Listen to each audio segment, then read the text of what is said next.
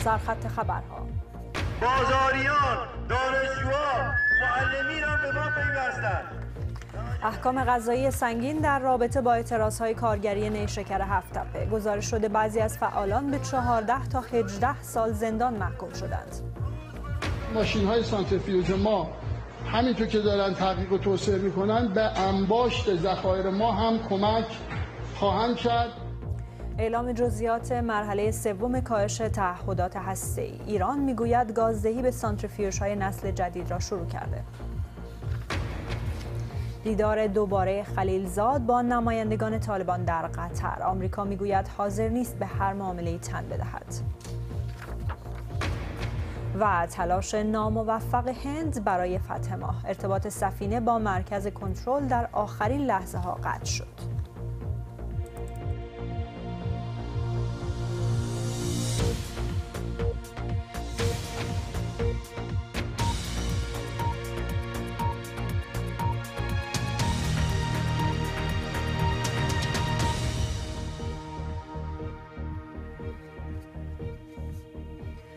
سلام به این بخش خبر خوش آمدید. فعالان کارگری در ایران از محکومیت سنگین بازداشت شدگان مرتبط با اعتراضات نیشکر هفت تپه خبر می‌دهند. گفته شده اسماعیل بخشی یکی از اعضای سندیکای نیشکر هفت تپه به 14 سال حبس محکوم شده. سپید قلیان فعال مدنی هم به گفته وکیلش به 18 سال حبس محکوم شده و اصل محمدی امیر حسین محمدی فرد ساناز اللهیاری و امیر امیر قلی هم که نشریه‌ای درباره مسائل کارگری منتشر می‌کرد به همین میزان حبس محکوم شدند.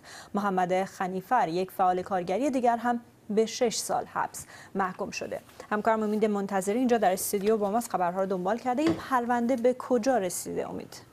این دیگه میشه گفتش که سرنوشت اون اعتراضات آبان و آذر سال 1397 در شوش و اهواز با این احکام تقریبا روشن شده. توی چند هفته گذشته ابتدا خبر اومدش که 16 تا از کارگران نیشکر هفتپه احکام تعلیقی و شلاق گرفتن. بعد در روزهای گذشته خبر اومد کارگران فولاد اهواز که اونها هم در اون تجمعات پیوسته بودن به کارگران هفتپه 41 نفرشون احضار شدن. بعد خبر اومد که منع تعقیب خوردن. در واقع خبر متمرکز شد روی کارگران هفتپه امروز خبر اومد افرادی که در واقع در زمستان سال 97 بازداشت شدند. در واقع در پیامد همون اعتراضات احکام بسیار سنگینی گرفتن. مجموعا افرادی یعنی سپیده قلیان و چهار نفر از اعضای نشریه گام اصل محمدی امیر حسین محمدی فر ساناز اللهیاری و امیر امیر قلی مجموعا به 18 سال حبس محکوم شدن که 7 سالش قابل اجراست. بنابر ماده 134 قانون مجازات اسلامی و اسماعیل بخشی هم به 14 سال زندان محکوم شده. این پرونده اسماعیل بخشی سپیده قلیان و اعضای نشریه گام که این خبرهای کارگری رو پوشش می‌دادن روند دیگه ای رفت. وقتی که وزارت اطلاعات یک مستندی با عنوان طراحی سوخته پخش کرد و اونها رو به ارتباط با خارج از کشور متهم کرد بعد بعد از اون بودش که اسماعیل بخشی و سپیده قلیان گفتن که این اعترافات زیر فشار اخذ شده.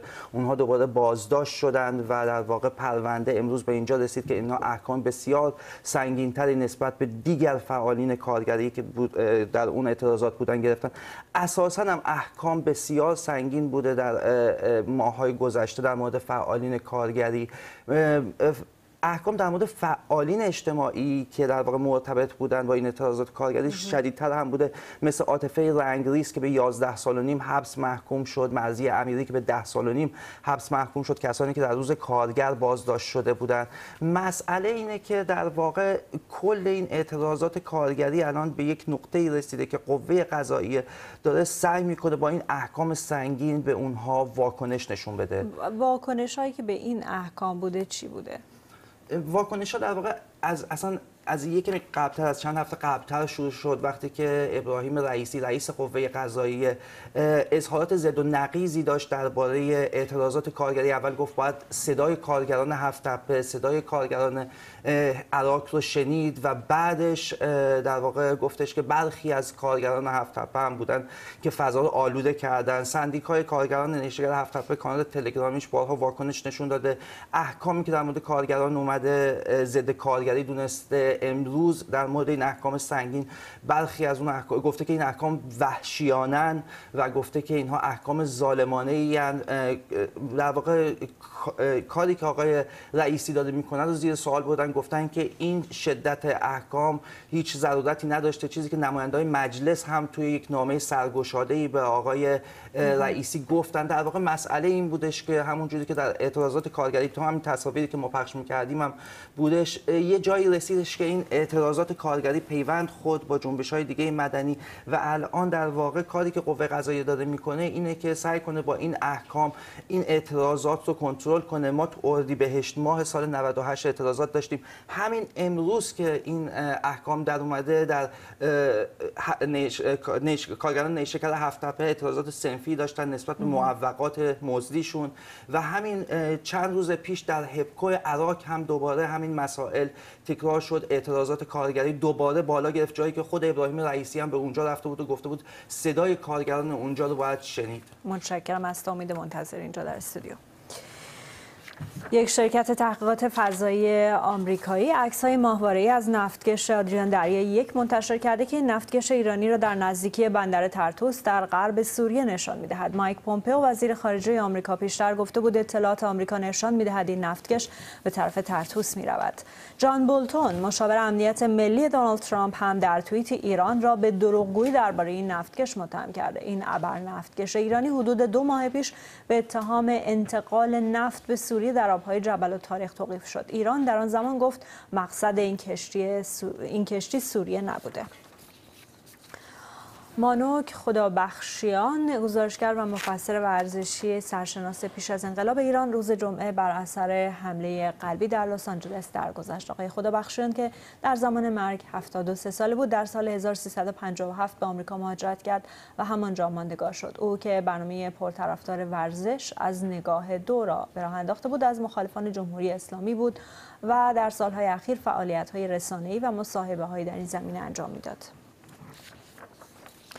ایران می‌گوید گازدهی به های پیشرفته را از سر گرفته و ذخیره اورانیوم غنی شده اش افزایش خواهد داد. بهروز کمالبندی رئیس سازمان انرژی اتمی ایران با اعلام این خبر گفته تهران فعلا به بازرسان سازمان ملل اجازه خواهد داد که همچنان از تأسیسات هسته‌ای کشور بازدید کنند. ایران که از دیروز گام سوم کاهش تعهداتش در برجام را آغاز کرده.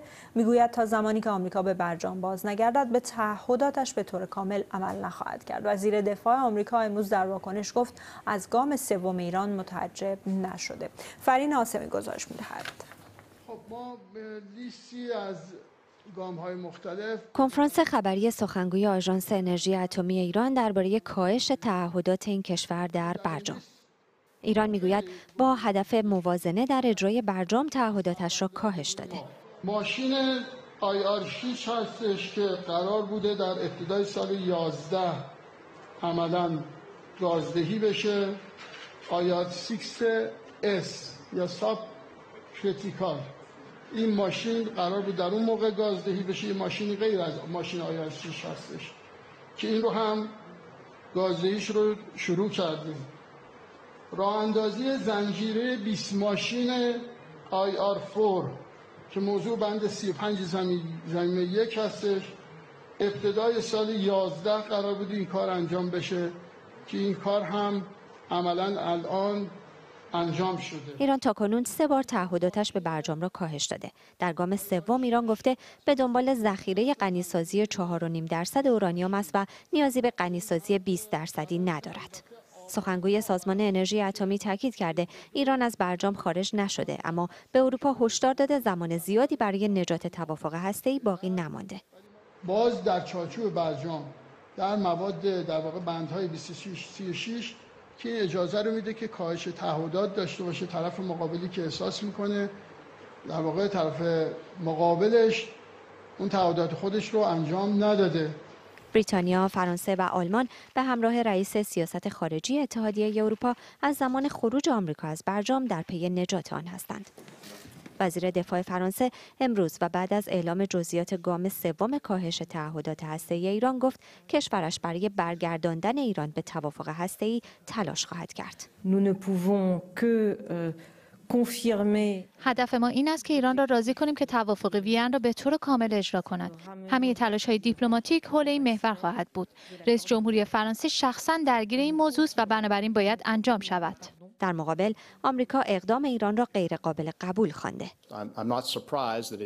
از اینکه ایران اعلام کرده خلاف برجام عمل خواهد کرد شگفت زده نشدم. آنها قبلا همین توافق را نقض کرده بودند. پیمان منع گسترش سلاحهای هسته‌ای را سالهاست که دارند نقض می‌کنند. بنابراین تعجبی ندارد که ایرانی ها چیزی را دنبال کنند که همیشه دنبالش بودند. اتحادیه اروپا روز جمعه با ابراز نگرانی از کاهش تعهدات ایران در برجام گفت به گزارش های بازرسان آژانس بین‌المللی انرژی اتمی درباره فعالیت های هسته‌ای ایران اتکا خواهد کرد.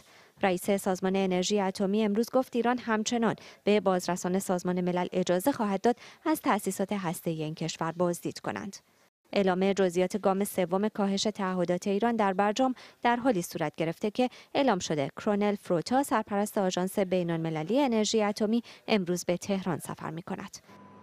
تهران می‌گوید اگر اروپا اقدامی برای نجات برجام انجام ندهد تا دو ماه دیگر چهار اقدام دیگر هم برای کاهش تعهداتش انجام خواهد داد. فرین آسمی بی بی سی.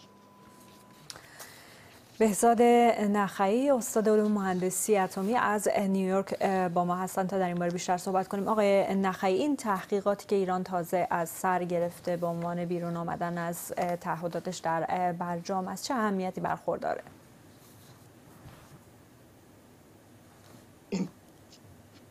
فعالیتی که ایران می‌کنه در چهارچوب شرایط برجام هست.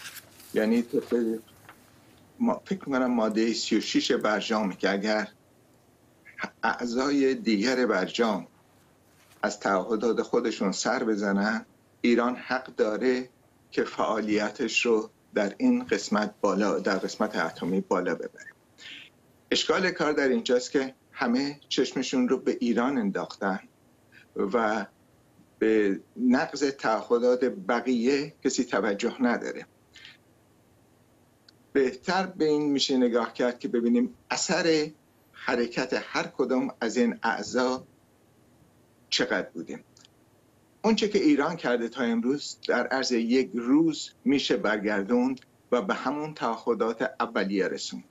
ولی اونچه که پنج به اضافه یک کردن در برابر ضرری که به مردم ایران خورده غیر قابل جبرانه. در نتیجه وقتی راجع به تعهدات صحبت می‌کنیم و تمام تعهدات رو صحبت بکنیم. این گازی به IR6 دادن 20 تا غنیساز IR6 یا 20 تا غنیساز IR4 که بهش گاز تزریق بکنن. اونقدر اثری در کل مسئله ایجاد نمی‌کنه. این فقط به عنوان یک کشداریه که میبایست همه به این تعهد عمل بکنن به خصوص که این تعهد مال شورای امنیت سازمان ملله و یک نمونه بارزیه که چطور در روابط بین المللی می‌تونیم با انسانیت و با درست و با حقیقت با هم بسازیم. پس فکر می‌کنید از لحاظ عملی ایران می‌تونه در مورد این با این گام جدید نفعی حاصل بکنه برای خودش؟ مسئله نسل در نیست. مسئله اینه که در عرض یک سال گذشته که ایران هیچ اقدامی نکرد غرب هم فقط صحبت کرد هیچ اقدامی نکرد. نه فرانسه نه آلمان نه انگلیس نه روسیه نه چین اقدامی کردن در برابر تعهداتی که داشته باشن. ایران این کاری کنه نقطه فشاری که نسبت غرب نسبت به اون حساسیت داره رو داره فشار میده. که شاید غرب به فکر این بیفته که باید قبل از اینکه از دست بره این مسئله و قبل از اینکه به یه جایی برسی که قابل برگشت نباشه در برابر کاری انجام بدیم. کاری هم که آقای مکران کرده اگر اون رو خوب نگاه کنید میگه یک کشور مستقل اروپایی که افتخار می‌کنه به استقلال و دموکراسی میگه من از امریکا اجازه بگیرم که خواسته خودم رو به ایران تحمیل بکنم که 15 میلیون میدیم و اون کاری که من میگم شما بکنید و این رو به عنوان یک راه حلی برای ایران پیشنهاد کرده. این روحیه و این طرز فکری که در غرب هنوز ادامه داره به هیچ جا نخواهد رسید و باعث درگیری بیشتری میشه. برجام یک راه بسیار خوبی برای مبارزه و مقابله با این مسائل بوده. متشکرم از شما بهراد نخعی استاد علوم مهندسی اتمی از نیویورک. برنامه خبری بی بی سی رو با سرخط خبرهای مهم روز پی می‌گیریم فعالان کارگری در ایران از محکومیت سنگین بازداشت شدگان مرتبط با اعتراضهای نیشکر هفت تپه خبر می‌دهند. ایران می‌گوید گازدهی به سانتریفیوژهای پیشرفته را از سر گرفته و ذخیره اورانیوم غنی سازی شده اش را افزایش خواهد داد. در ادامه برنامه دست هند به ماه نرسید.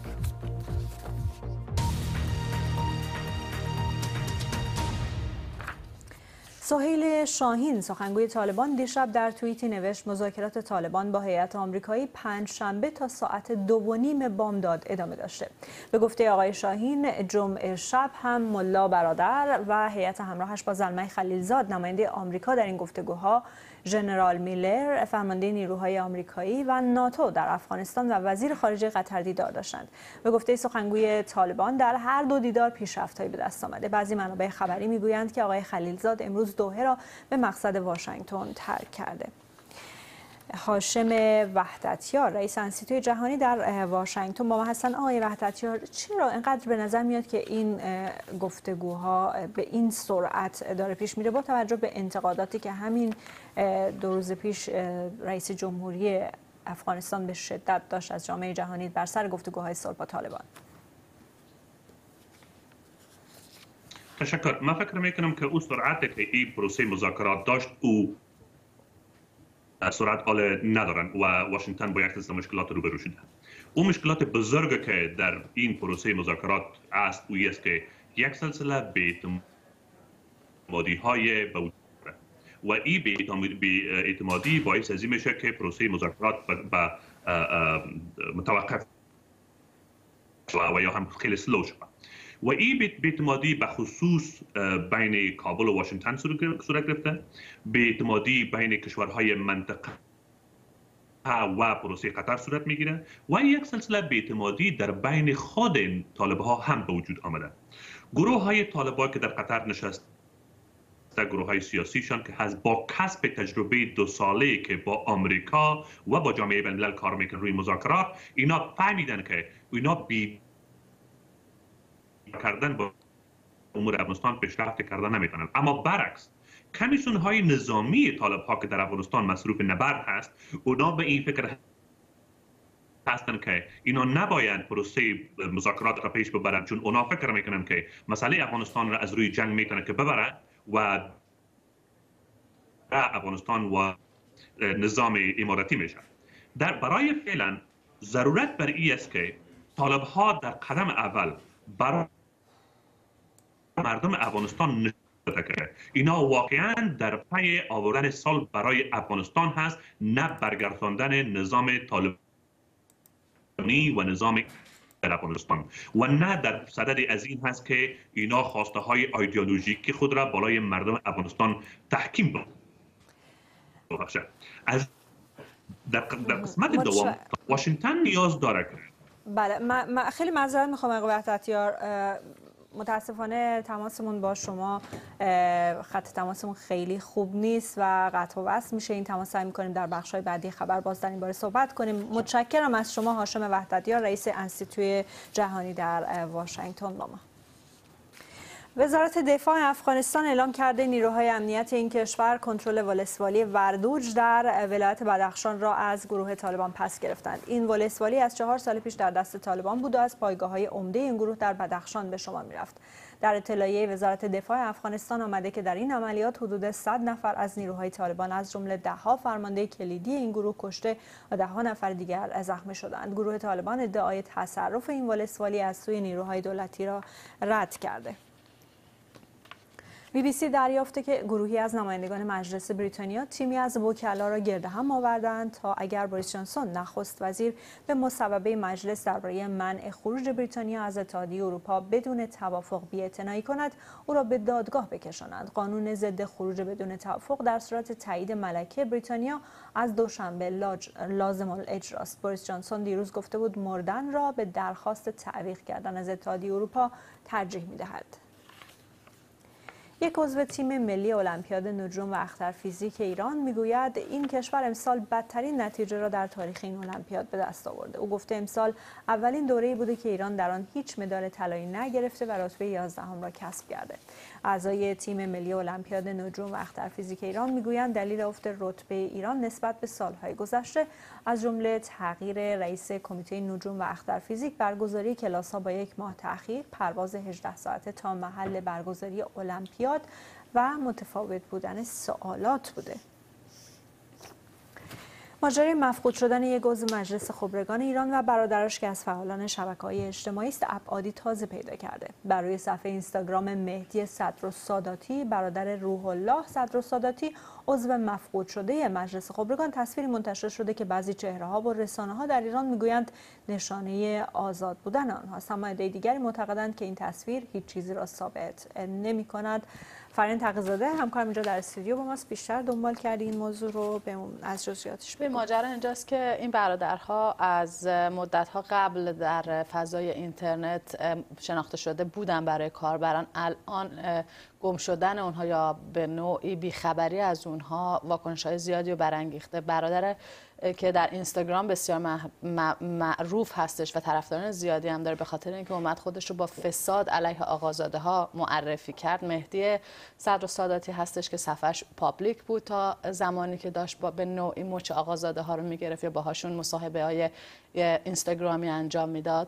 بعد از اون به بعد گفتش که مورد کمی به نوعی فشار قرار گرفته صفحه پابلیکش رو میبنده یک صفحه دیگه باز می‌کنه برای اینکه بخواد این موارد فساد آقازاده ها رو اونجا عنوان کنه.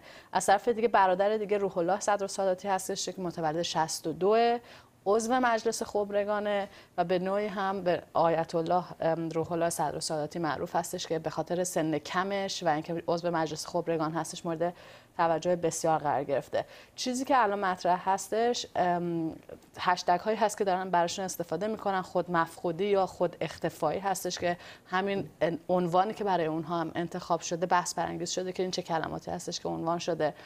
چون پیداشون نبوده یه سری از نماینده های مجلس قوم مثلا مشتبه زنوری که رئیس کمیسیون امنیت ملی هم هستش در موردشون صحبت کرده که اینها در قوم هستند هیچ اتفاقی هم براشون نیومده و بعد از اون قضیه دیشب ساعت هفت شب پدر این روحانیون آقایون صدر ساداتی در اینستاگرام یه ویدیویی رو منتشر کرده و در مورد همه این خبرهایی که در مورد این پسرهاش داره منتشر میشه یه اظهار نظری کرده. با هم دیگه ببینیم اینو.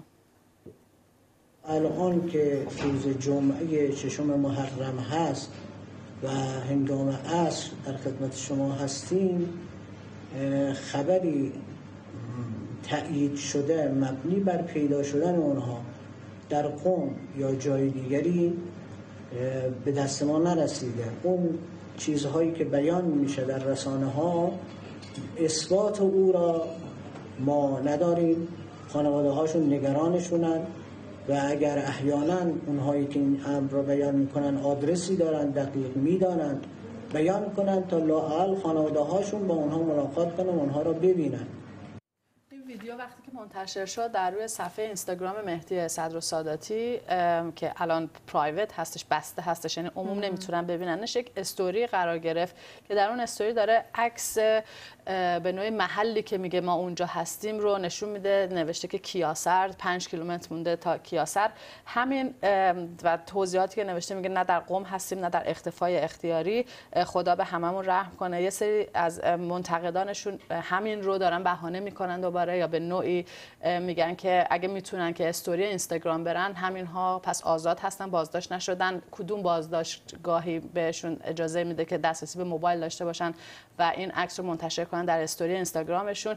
و حالا که دسترسی دارن پس می‌تونن با خانوادهشون هم تماس بگیرن. از طرف دیگه وقتی که این اتفاق میفته معمولا توسط نهادهای امنیتی بازداشت میشن. حالا هر کسی که باشه معمولا اکانت های اینستاگرام اونها در اختیار افراد در اختیار مامورین قرار می‌گیره و از دسترسی اونها خارج میشه. و این عکس رو یه سری دارن میگن که دلیلی نمیشه که ما برداشت کنیم که اینها در جای امنی هستن یا بازداشت نشدن یا هیچ مسئله براشون پیش نیامده طرفدارانشون دارن میگن که اینها چون هم اصلاح طلبها هم اصولگراها با اینها مشکل دارن چون اصلاح طلبها میگن اینها آخوندهای مذهبی هستن بچه حزب اللهیان اصولگراها هم میگن آدمایی نیستن که در اون اصول و چارچوب اصولگراها کاملا جای بگیرن. یک کم تندروتر از اصولگراهای میانه رو هستن. این قضیه باعث شده که کسی به اینها توجه نکنه و اونقدر گم شدن اینها یا نمی‌تونن ازشون خبردار بشن مورد توجه مسئولین قرار نگیره. برای همین خانواده گویا بسیار داره تلاش می‌کنه تا خبری ازشون بگیره. متشکرم. از تو فرین اینجا در استودیو. هند اعلام کرده ارتباط ماهواره این کشور با مرکز کنترل چند لحظه پیش از فرود آن بر سطح کره ماه قطع شده و به نظر می‌رسد تلاش این کشور برای نشاندن فضاپیما برای کره ماه شکست خورده باشد. با وجود این نارندرا مودی نخست وزیر هند از دانشمندان این کشور خواسته نامید نشوند. آقای مودی گفته هند در آینده نتایج بهتری در برنامه فضاییش خواهد گرفت. بیل هیتون گزارش می‌دهد. چهره های افسرده در مرکز کنترل. هند می‌خواست چهارمین کشوری باشد که به کره ماه می‌رسد. اما اینطور نشد. همه چیز تا آخرین لحظه به خوبی پیش می‌رفت. مراحل اول فرود ویکرام بر اساس برنامه پیش رفت و شرایط تا ارتفاع دو یک دهم کیلومتری سطح ماه عادی بود. اما پس از آن ارتباط فرودگرد با مرکز کنترل قطع شد و ما در حال بررسی داده های دریافتی هستیم. قرار بر فرود در قطب جنوب کره ماه بود کاری که تا پیش از آن انجام نشده بود. از ابتدا معلوم بود که مأموریت پیچیده خواهد بود. اگر فرود با موفقیت انجام می‌شد، می توانست به درک بهتر ما از سطح ماه، وجود آب و چیزهای دیگر در آن بخش از کره ماه کمک کند. نخست وزیر کشور در مرکز کنترل آماده جشن کامیابی بود ولی ناچار به دلداری دادن به دانشمندان شد. داشتم نگاه می‌کردم و دیدم چهره های همتون در هم رفته. دستاوردی که شما داشتید کم نیست. کشور به شما افتخار می‌کنه و چیزهای زیادی از سخت کوشی شما یاد گرفته.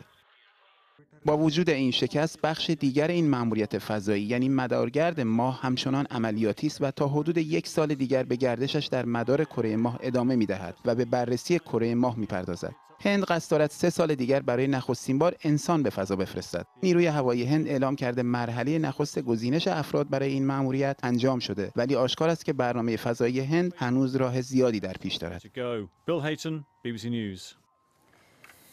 می‌رسیم به پایین این بخش خبر تا دقایق دیگر با خلاصه از خبرها با شما خواهم بود.